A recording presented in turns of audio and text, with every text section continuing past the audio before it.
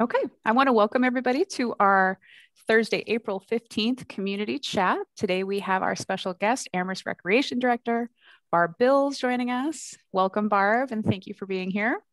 Thank you for inviting me.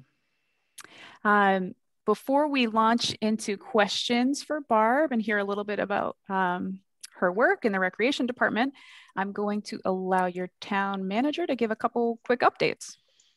Thanks, Brianna. So, well, since we, are here with recreation, I want to lead with the uh, congratulations to the UMass hockey team for the, being the NCAA men's uh, hockey champions. Um, now, there can't be a parade because that's not permitted under um, under the uh, governor's guidelines at this point. There, they did when they re- arrived back on campus. There was a, a jubilant reception for them. Um, and I think the university is looking at some major celebration in September. And along those lines, it looks like all three of our institutions are looking to reopen um, as close to normal as possible come September. And um, so I think that's really good news for us. It, it uh, speaks to the level of vaccination that's happening throughout the country and in our area and also that um, you know our team at the Bangs Community Center has continued to run vaccine clinics. I think we've done over 3,000 vaccines so far. We do about um, you know as many we do as many as we get the uh, vaccine vaccine for it, and we don't get enough um, supply. And university also runs a clinic. So if you're looking for a clinic, they open their clinics at four o'clock on Fridays. So that's my quick update for today. Great. Thank you, Paul. I'm just going to take a quick moment to uh, remind our live attendees who are in Zoom and also those on Facebook Live. Uh, please feel free to ask your questions in Zoom. You can put it into the Q&A or raise your hand. We'd love to hear from you live. Um, and then for those watching on Facebook Live, just put a comment into the stream and we will ask your question um, as well. So without further ado, uh, Barb, would you mind introducing yourself? Hi, everyone. I'm Barb Bilz, and I'm the director of the Amherst Recreation Department. I've been in that position for a little over four and a half years now. And um, I, before that, served as a program director when I first started, and then um, moved up to the assistant director for the department. But certainly, uh, it's uh, it's been a very rewarding. I've worked for the town now for 21 years, so it's been a, an extremely rewarding uh, experience, and especially these last uh, four and a half years or so as director. So we I'm really proud of, of where we've we've come, and you know I will be I, I will be retiring uh, shortly in May, as well, actually June, but my last day will be May 12th. So um, I'm looking forward to that, a new chapter in my life, but also uh, very proud of what we've been able to accomplish in the last four and a half years. And we can talk more about that as we go on. That that recreation direct department that just rolled off your tongue like you've been saying that all along but that's brand new right? It is yes.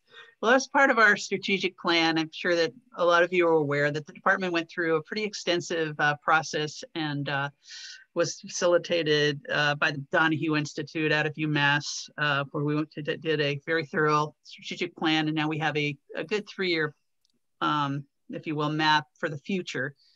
Uh, and one of the things, though, that did come out of that strategic plan is that we should change our name. And, and we got a lot of community input um, in all of the aspects that we um, delved, delved into and, and, investigated. But the name change really rose to the top. So we took care of that right away and we became Amherst Recreation uh, officially a few months ago, where it was approved by town by the by the town manager and town council was made aware of it, I guess. Mm-hmm.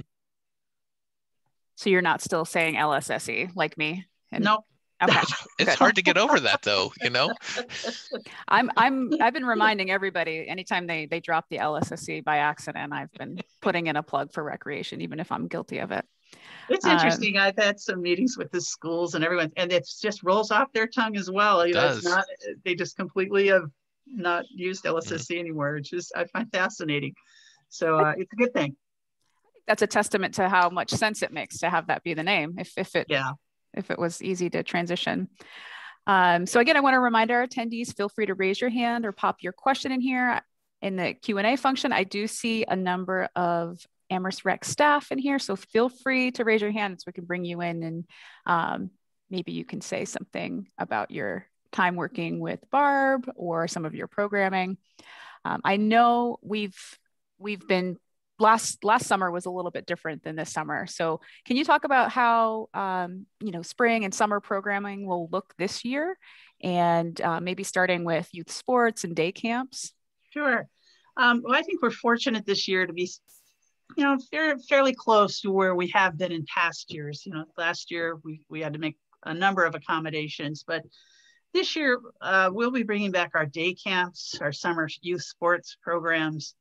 Um, we'll have activities for kids, uh, you know, at the golf course. Um, certainly the outdoor pools will be up and running, but there'll be COVID restrictions in place. Uh, the numbers that will be allowed to have in the day camps, for instance, will be less than we normally would be operating at, so about 50% less. Um, and, and the outdoor pools, we're still not to the point where we can offer swim lessons, but possibly later in the summer, depending on, you know, how, how the state and how things, you know, their, their regulations and what they put into place, and then how things are looking. So we're hopeful. Um, the spray park should be up and running in June, which is exciting. I know everybody uh, is looking forward to, to uh, getting out there and enjoying Groff Park and the new playground in the spray park, which is just terrific. And uh, we'll be doing adult and youth education programs. Again, most of those will occur outside, outdoors, in um, different areas throughout town. But things like yoga, um, qigong. Uh, let's see, we have the um, the Sandlot baseball program, and those kinds of programs. So we'll, we're having that. We're also going to introduce this year. We're going to have an arts program uh, for kids that it's an arts and science program. So that'll be happening as well. And again, those will be limited numbers because of our COVID restrictions, but uh, our staff has done, done a you know tremendous job, I think, of adapting and uh, creating safe environments for children uh, and, and our other participants, our adult participants in the programs that we have run. So we've got good experience behind us. And um, so we're moving forward and looking uh, and looking forward to to offering all kinds of activities for the community. Do, are you seeing a bigger appetite for participants now? You know, coming into to, to the spring and the, the vaccine being rolled out, do you feel that people are banging down your doors for for activities, or how is that looking? Well, what we found, I think, is the uh, day camps, particularly, we've opened those up for registration, and those are filling up quickly. So there's clearly a need out there, whether it's childcare or kids just wanting to experience some socialization as well as fun recreation activities. So it's yeah, I would say the demand is is going to be higher than normal this year, and I think people understand that the numbers are limited. Again, we're going to be operating some of these programs at 50% of what we normally would have run them at.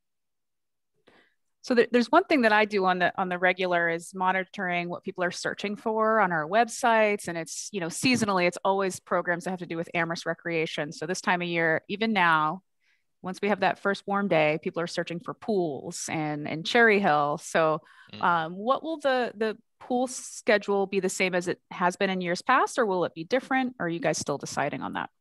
Yeah, well, no, we have a we have a pool schedule set. We're going to open up Mill River Pool earlier than normal. We're going to open that up on June 19th.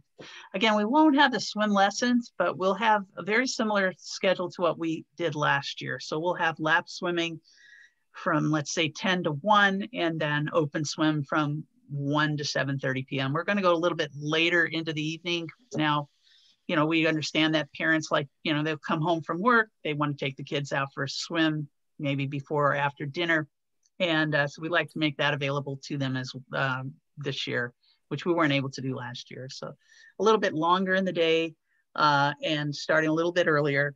Um, War Memorial will open up on June 26th. And then the pools will stay open through both, uh, will Mill River will stay open through uh, Labor Day.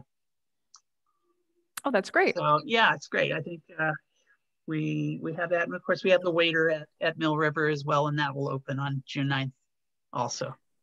And those combined with the with the splash pad, there'll be options for people to to stay cool this summer. Right. You bet. And what about Cherry Hill? That's one of the other the biggest inquiries we get is, you know, is it open? Can I how do I book it on my tee time? And you guys have that system all set up where it's really easy online. So mm-hmm. have you mm-hmm. been having a big attendance at the at Cherry Hill as well? Well, yeah, especially whoa, with the weather being so warm initially when we opened, we've we've been uh, very busy, which is great. Um, we are, you know, we haven't raised our prices. The prices are the same. Do you have to make a tee time, as Brianna uh, mentioned, so that's easily done through our our website. And um, we will be offering a women's clinic, a youth camp this year. So lots of good activities going on. We have a, a women's league. Uh, it's a kind of a low key, fun league for women. And we also have a men's league. So there's plenty for, you know, for everyone at all kinds of different levels. You know, we've always said it's sort of the course for everyone. And uh, we've, we've sort of lived up to that mantra, which is good.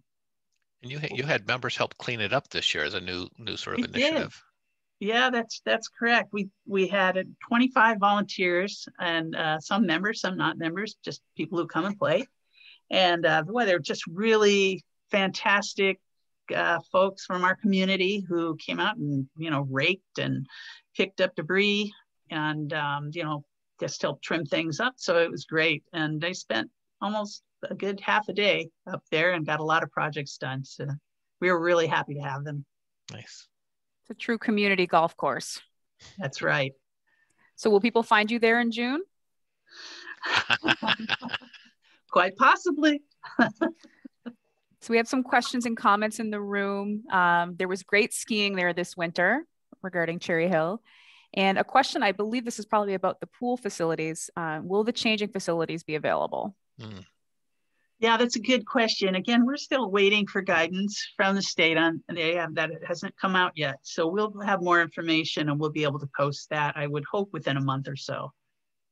And that website is, at, sorry. Oh, go ahead. At the, yeah, at our and you can always check our website, amherst marec.org.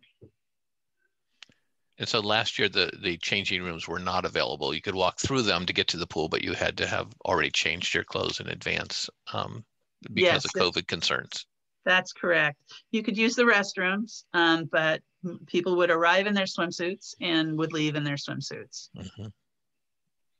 So stay tuned on that. Yeah. So I'm wondering who that is in your background yeah. over there. Bar- We've heard you have an office mate that's pretty famous. Bar- Barb thinks oh. she's the star, but she's not. what I is that? Is that a Mink Stoll? Little, yeah, that's my Mink Stoll. that's uh, that's Lana, the little diva. Yeah, she's uh, she's she likes to. I guess she's a camera hog. I don't know. No, you should don't don't let us keep looking at her. Move the camera so she she steals steals the show for sure. there we go. I didn't even realize she was there. That's fun. oh, we've Queen got a, Lana. Queen Lana, yeah, definitely. Nicole says, "Yay, Queen Lana." she must be famous then. Um, and then we have another question here. When may when is the new playground opening? Hmm.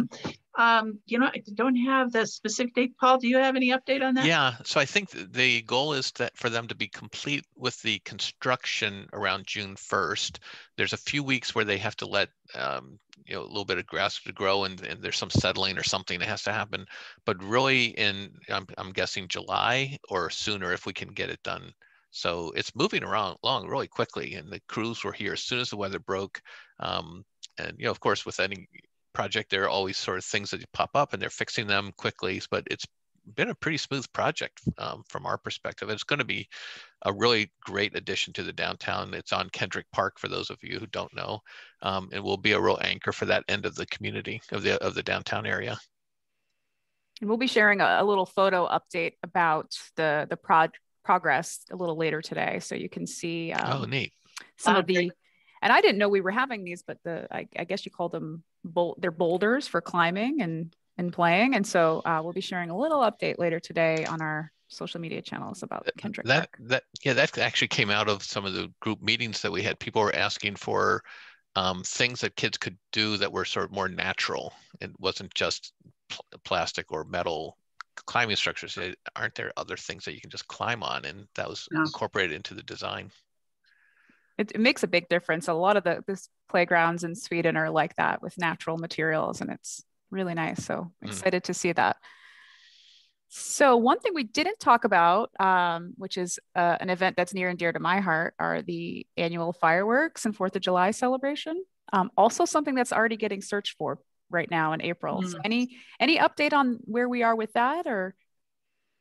Yeah, Paul, you can jump in. Unfortunately, this uh, this year we're going to have to cancel again. Um, we've been in discussions with the university, and both entities have decided it, it you know, for from a safety perspective, this this would be the prudent thing to do. So we won't be having the Fourth of July fireworks this year, unfortunately. But I'm sure next year will be bigger and better than ever. Yeah, 2022. yeah, mm-hmm. and most communities are not Uh, holding uh, holding their fireworks this year. Some are, some are delaying them, some are putting them back to the year. But it's there's so many uncertainties, and you have to contract with things. And for us, we actually do a, or the recreation department does a lot of fundraising to help pay for the event. So if you don't get that started early, you're not going to have enough money to put it on. So that was the wisest decision was to to declare that we weren't going to have fireworks in 2021. Well, there's always next year. Mm-hmm. That's right. Well, one but thing. We, oh, go ahead. Yeah, but but we did do Winterfest this year, as sort of a modified version, which was kind of creative and exciting to see.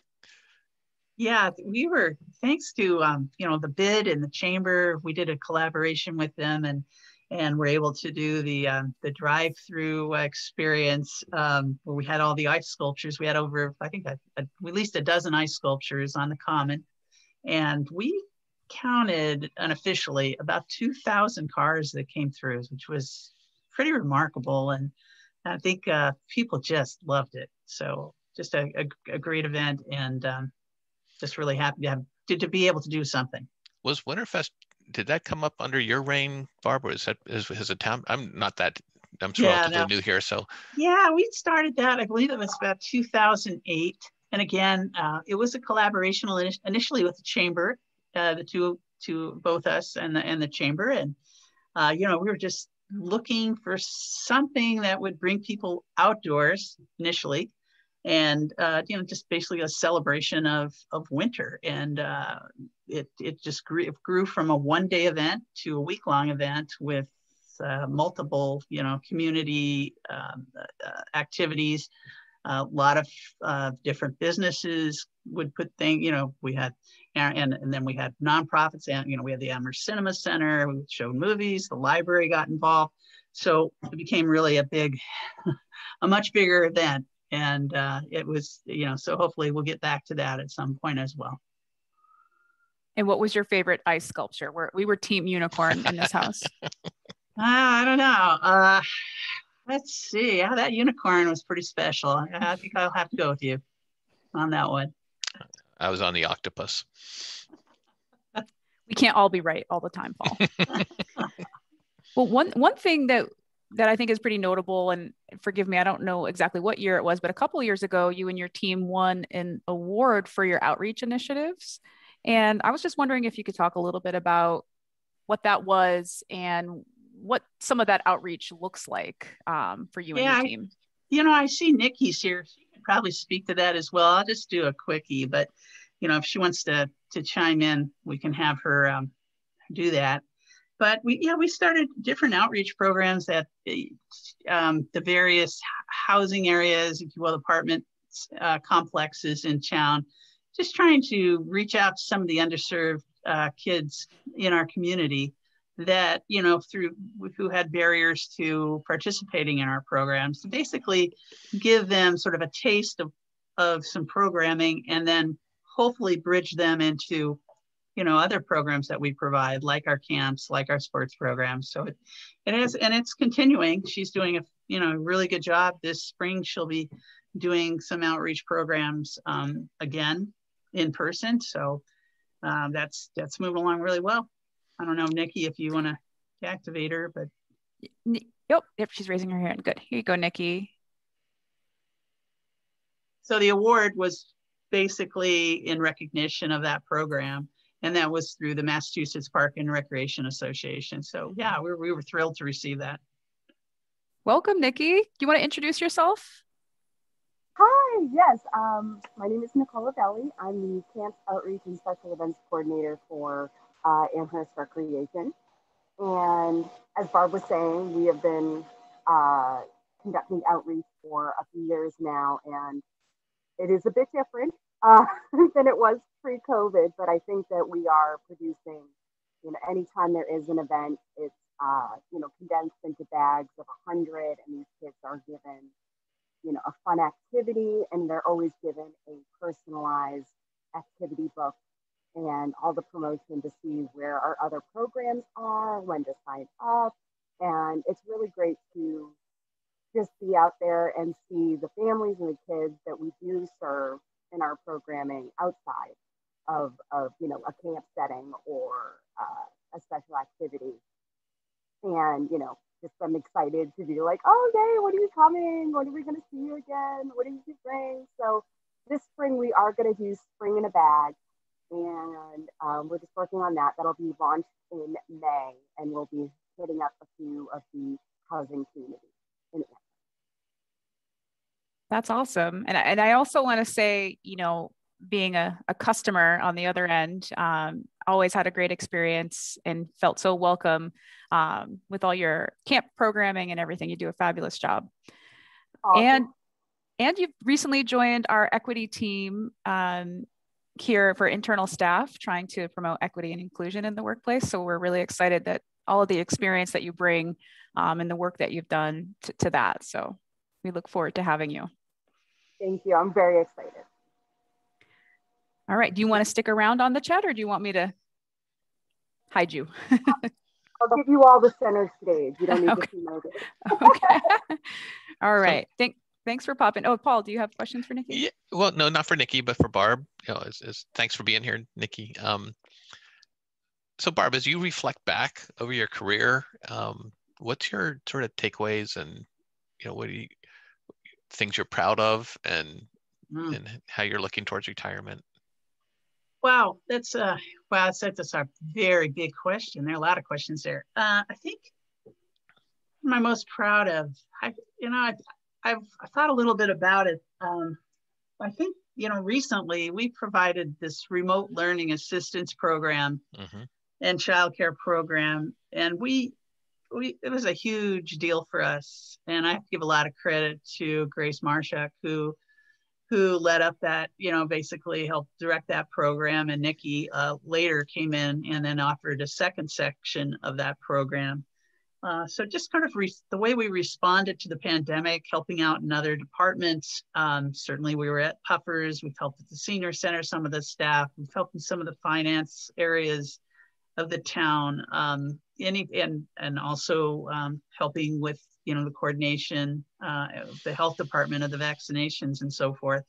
So a lot of that. Just uh, real proud of my staff with they've responded and, and just recently but certainly um, you know that's sort of sort of recent kind of a, things that that come to mind but overall you know just uh, it's just been an, an incredible you know 21 years this has really been my sort of dream job to come to this. I started as a program director and and I've worked my way up and and back to uh, you know a position of director. I, before this, before I came here, I, you know, I, I, worked for the the military in in recreation. I was a recreation director overseas in Japan and Korea. And so then I got away from recreation for a while and went into fundraising and and some other things, and then came back to it um, 21 years ago. So uh, I don't know. I just feel really fortunate also to be able to have served. You know, to live and serve. You know, your community is just that's what more could you ask for? So that's that's about it. You know, really, I I'm just really fortunate and grateful. Yeah, so I mean, you've been a joy to work with, you know, um, and uh, I, I, agree with you that uh, I have said this many times, but the uh, um, recreation LSSE staff has been uh, just remarkable during the pandemic, and and they have helped with the election, with finances, staffing Puffers Pond, setting up an entire learning center at the middle school and staffing that, and you know, helping the health department, uh, helping you know just the the list goes on. And the, the thing that was always uh, impressive to me is that no one ever said to me said that's not my job description. You know, they were like, "What else can we do? Where where where do you need us?" And it was just every person in your department. I think that starts with your sort of willingness to take on different things, and um, helping to guide that. So I just want to thank you for that. But you know, your whole career with the town. I mean, when I got here, everyone had really high regard for you and the work that you'd done, and so I was really glad that you were able to get become the director of the department and um, just you know rock solid department head. So that's never had to worry about that you know like recreation took care of itself. So I really appreciated all your work for the town. Thank you paul. It's been a you know it's also been a pleasure working with you. Um, i i couldn't ask for a, a better boss so thank you. thank you. Well i want to invite our attendees you know since we're coming down to our last couple of minutes that went quick barb didn't it? It did see i, I told you i would try to make it painless Um, I'd love to invite anybody in the room to kind of offer any last minute comments or, or uh, questions. I see we have a comment here. Um, Sarah's glad to see that a multi-use path will go all the way to Groff Park from East Hadley Road. So that's yeah, another that's a really exciting project. Yeah, so we got a grant to do that. Um, there'll be some major changes there to help people cross um, West. Is it South Pleasant Street, West Street there? I think. So, and that will that will work its way through the process. Okay, so last chance, everybody. Questions, comments? Um, so well, tell us about retirement, though. That's why I want to know what, you're, what are you going to do? I mean, I know you're you're you're an expert skier. what? That's what we're Where told. did you ever hear that? Queen of the bunny slope, maybe. Oh, you know, I think um, I'm just going to start by just enjoying my first summer off, probably since I was in junior high school. So um, I'm just looking forward to, uh, taking a, a, few months off initially and then, you know, go from there.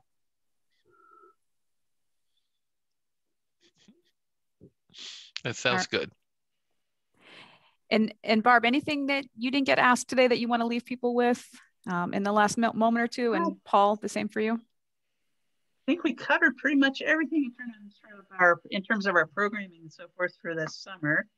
I don't know if any of the other staff members who are here have or or Sarah, if you have anything to add from the commission standpoint, but I think we got it. Is is Lana prepared for you to be home all the time? Uh, yeah, I don't know. She's pretty uptight, as you can tell. um, Sarah, Sarah says we will miss you. Ditto. Thanks, we will miss you, Barb. And well, I, am not going anywhere. I'm, I'm still living in Amherst, so hopefully I'll see all of you. Oh, we might have to do some recruitment, get you on a board or committee. Exactly. We can't we can't let you just go off and enjoy yourself too much. That's a possibility. Um, and I guess I, the one thing that I will add, you know, we're actively recruiting uh, for a mm-hmm. recreation mm-hmm. director. So that that position is uh, posted up on our career portal, amherstma.gov slash jobs. If you or someone you know is an amazing recreation type, we'd love to have them apply. As much as as much as we don't want Barb to leave, we have to face reality. All right. So with that, I, I, don't see any other hands or comments. Um, I want to thank Barb for taking time out of her day to join us today for her what will probably be her last community chat. I know you've been here a few times, but we'd love to have you back any other time. Great. Well, Barb. thank you. Thank you. Have a nice day. Thank you, Brianna.